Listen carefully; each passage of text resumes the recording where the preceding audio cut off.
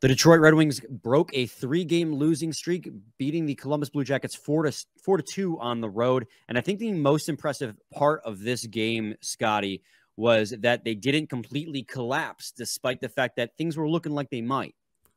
Yeah, no, they they uh, they rebounded from a couple of late goals uh, by Columbus, and yeah, pedal to the floor, just went forward. There was a goal that was called back too, like the offsides play. So yeah, it was a, it was a really impressive team to keep a, a scrappy team down.